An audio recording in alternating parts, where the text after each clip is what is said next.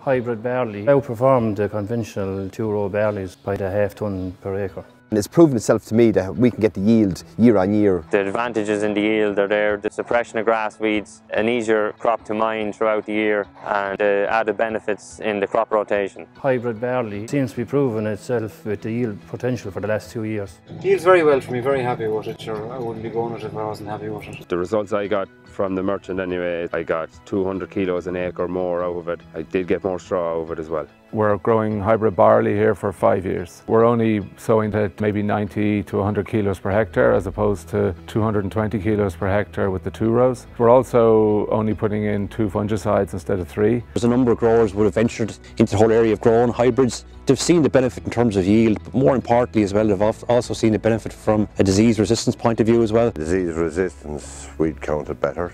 It's very easy to grow and there's no compromising grain quality and getting the yields. I like growing the hybrid barley. It is relatively easy to grow. It is easier to control disease and it is not as prone to diseases as two-row. There is no difference in growing a hybrid and conventional two-row. Follow the same agronomy. You will probably have to spend a bit more on the growth regulator, but you will spend a bit less on disease sprays. Compared to other crops, there's a lot less disease in it. I would say significantly less chemicals for disease. In particular, we're finding the hybrids very robust as regards resistant to straw breakdown. Straw quality was very good. Um, it was easy to compare because I had a two-row variety beside it. It also bales better. 10 to 12 round bales per acre is what we're getting and we're getting 12 to 14 off a hybrid barley. Hybrid barleys, given their hybrid vigour, are more consistent and they will tolerate more extreme conditions, so a wet back end or a wet spring or land that isn't typically barley land. They're a lot less volatile in my opinion than the two-row varieties. So I'd have no hesitation in recommending a grower to go out and buy Belfry Hybrid Barley. Belfry is number one on the DFM list and it's definitely a winner for me. We're definitely going to be growing more hybrids as we feel that we can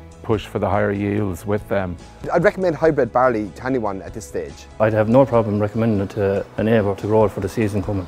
Try 25% of your winter barley for next year and I don't think you'll be disappointed. You'll be going for 50 the year after.